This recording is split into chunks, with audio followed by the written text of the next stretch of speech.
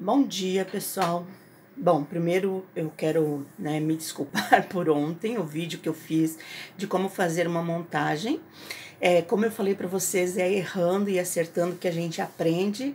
Eu coloquei o celular e eu queria aumentar, dar zoom no celular e eu não conseguia dar zoom porque dizia que desse modo não dava para mexer e eu acabei virando o celular em vez de virar a posição de imagem, então acabou ficando daquela forma. Mas eu vou fazer depois um outro vídeo é, ensinando montagem é, com um vídeo melhor. Agora eu vou fazer como você fazer uma barrinha de corte. Então vamos lá. Primeira coisa eu vou abrir o meu é, trabalho, meu em Bird, né? Meu programa de edição.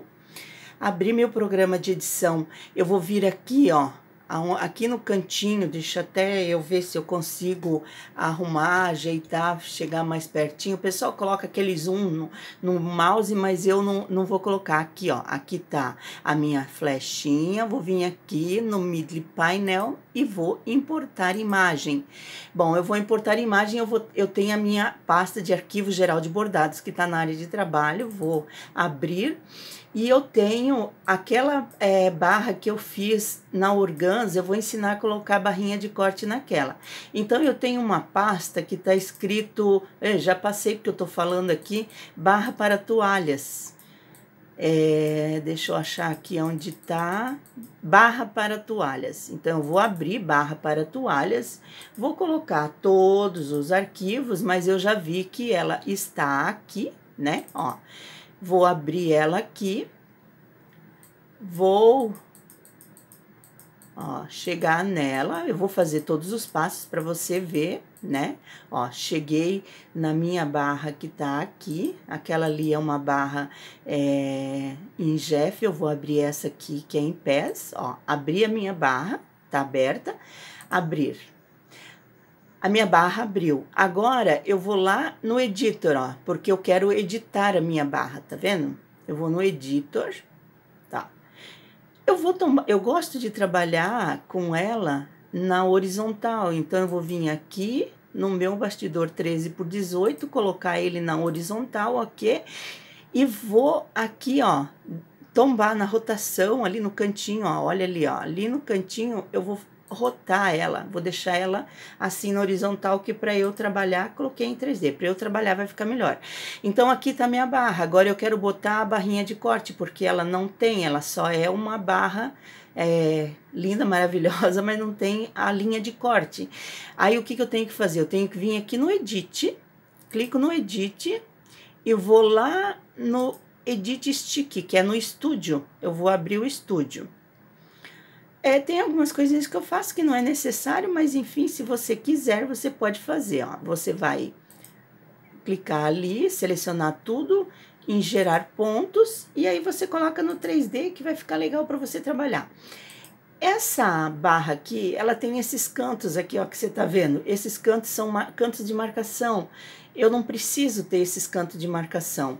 Então, eu vou vir aqui no canto do meu notebook, ó, aqui no, no cantinho, né, onde está aqui, ó, todos os pontos, e vou selecionar esse canto e vou clicar, selecionei com o botão esquerdo, clico com o direito e dou delete. No outro, a mesma coisa, ó, eu achei o L, tá ali embaixo, cliquei com o botão é, esquerdo, clico com o direito, do delete. Agora tenho que achar essas outras duas do lado de cá, então elas devem estar lá para cima, vou olhar lá. Ó, tá aqui o L, ó. Clico com o botão esquerdo, com o direito eu dou delete. Clico com o botão esquerdo, direito dou delete. Pronto, tirei aquelas linhas de marcação, porque aquelas linhas de marcação vai me deixar, vai deixar minha matriz maior. Então, agora eu quero botar uma linha de corte a, tanto na parte de cima como na parte de baixo, para eu poder fazer o corte, né? Então, eu vou vir aqui, ó, nessa ferramenta aqui, ó, onde parece que é um mapinha, mas ela tá aberta, é um mapinha tipo aberto, aqui, ó, ó, ó o meu mouse, onde tá, ó, aqui é onde ele vai, ó, nessa ferramenta aqui de linha, e vou clicar nela, vai abrir para eu trabalhar. Então, ó, eu clico aqui, cliquei, clico novamente aqui, com o mouse, eu puxo a linha ali, ó, para cima. E assim eu vou fazendo todas elas, ó. Cliquei, Lembrando que, como eu falei, você não precisa ter medo, porque se não der certo como você quer, você só fecha e não salva nada. Você pode arrumar ele, ó, depois que você, mesmo que depois que você já fez, você pode arrumar. E aqui terminando a barrinha.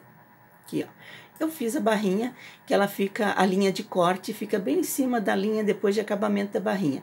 Depois que eu fiz isso aqui, eu venho aqui onde tem, parece um baldinho de tinta, que está escrito Generate Sticks, que é gerar pontos, e clico duas vezes em cima. Ela gerou pontos, tá vendo?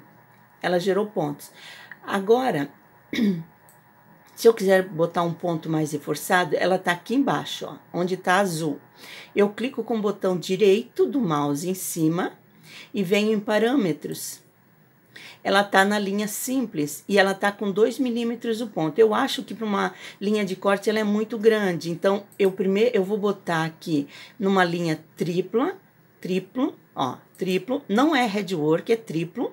Eu vou diminuir aqui o tamanho do meu ponto do passo da máquina, vou deixar com um e meio e daí eu venho aqui em aplicar e gerar pontos. Pronto, ó, tá vendo? A mesma coisa eu vou fazer aqui na parte de baixo, ó. Cliquei ali, vou vir aqui, vou arrumando, ó. Mesma coisa. Olha. Vou arrumar. Arrumar.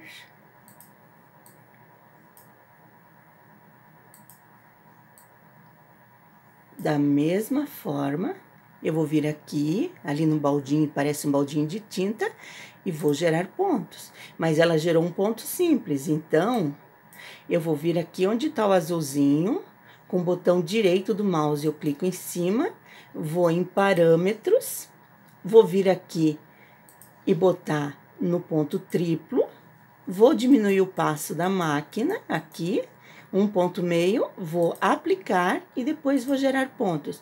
Tá, mas aqui se eu fizer deixar minha matriz assim, vai bordar por último isso aqui. E eu quero que ela borde, seja a primeira coisa. Então, eu venho aqui, clico em cima da primeira linha com o botão esquerdo, com o botão direito eu clico em cima e venho aqui em order, ordem, né? E coloco to back, que ela vai, vai lá para cima.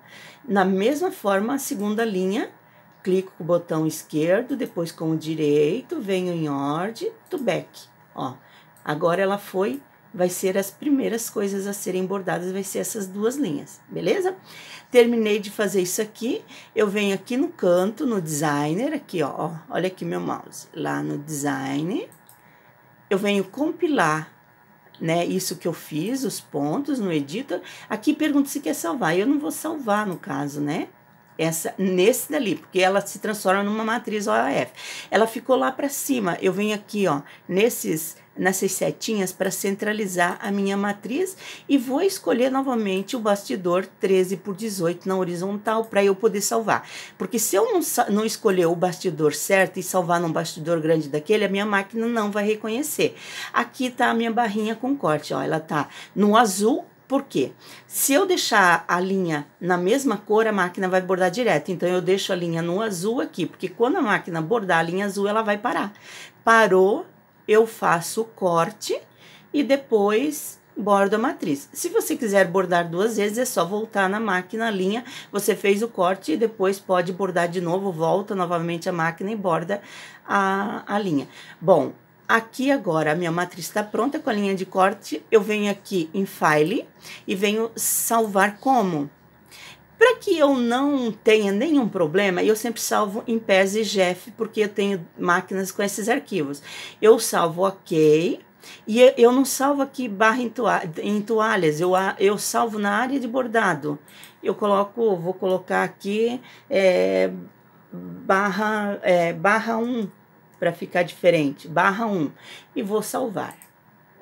Yes. Yes, aqui ela vai pedir porque são dois tipos de diferente de matriz, yes, e ela tá salva. A minha barrinha tá salva aqui na área de trabalho, ó. Tá vendo? Minhas barras estão aqui salvas na área de trabalho. Então é assim que se faz a, a linha de corte numa barrinha, beleza? E Desculpa de ontem do meu vídeo que ficou, em vez de eu virar o celular, eu, vi, eu virei, em vez de eu virar a posição da câmera, eu virei o celular. Mas eu vou fazer uma, uma nova, um novo vídeo ensinando a fazer montagens, tá bom? Que você aproveite bastante e que você tenha ótimos trabalhos, faça lindos trabalhos, tá bom? É, que Deus te abençoe, se inscreva no canal, dê o teu like, que é muito importante, e ative o sininho, tá bom? Beijos!